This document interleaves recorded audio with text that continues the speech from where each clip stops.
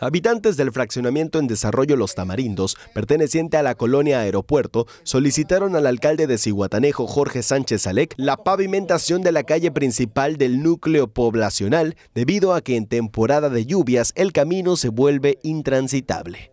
En entrevista, el fundador del fraccionamiento, Celestino Pineda Figueroa, dijo que desde hace años la calle de terracería ha sido un problema para las más de 40 familias que ahí habitan. Explicó que por el tipo de suelo, las constantes transforman el camino en un enorme charco de lodo. También comentó que desde hace 12 años aproximadamente que se fundó la escuela telesecundaria Sor Juana Inés de la Cruz, ahí en ese fraccionamiento. Los más afectados son los alumnos y docentes que tienen que caminar entre el lodo para poder llegar a la institución.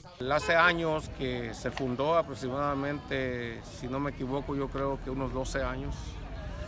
Y desde esa fecha, en tiempos de lluvia, tanto niños como maestros y otras personas acceden por esa calle con el lodo hasta los tobillos porque esta zona es una zona que se distingue por ser eh, el tipo de tierra, pues es, barro, me refiero a un barro, ¿verdad?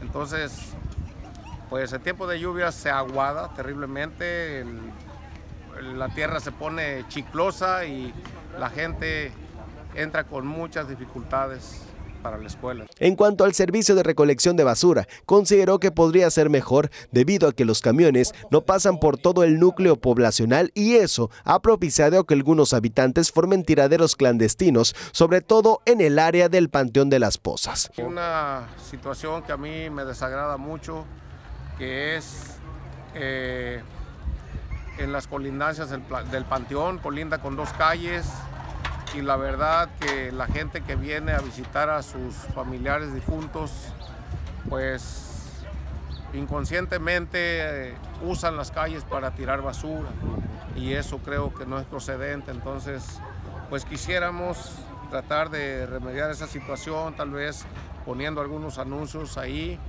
y el mismo camión de la basura, el camión recolector, podría encargarse también de levantar esa basura. Por ello es que Celestino Pineda dijo que no quitará el dedo del renglón con el ayuntamiento de Ciguatanejo para que las autoridades cumplan con su compromiso de mejorar las condiciones de vida de los azuetenses. Eliud Patiño, Mega Noticias.